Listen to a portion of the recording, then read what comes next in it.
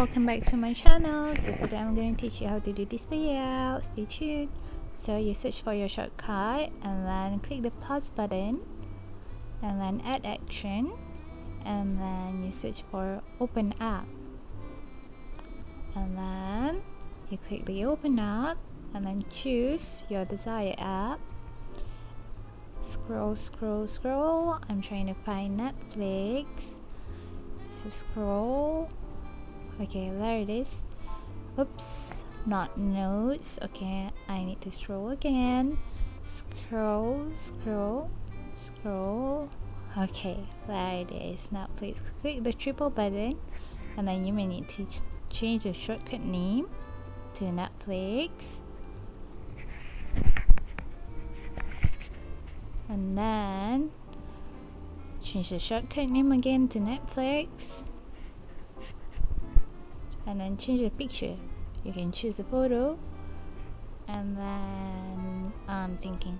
I'm to use that white casing okay. Choose and then add click add. So now it's added to your home screen. And then click done. Close this. Close this. Okay there you go. You're done Alright, you may adjust the app according to your preference.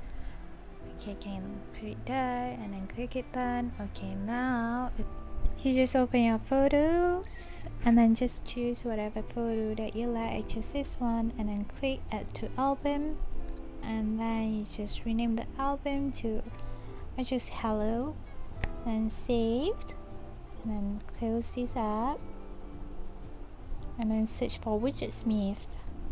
And then from here you can see there are three types small widgets and then medium size and also large size. This is based on your creativity.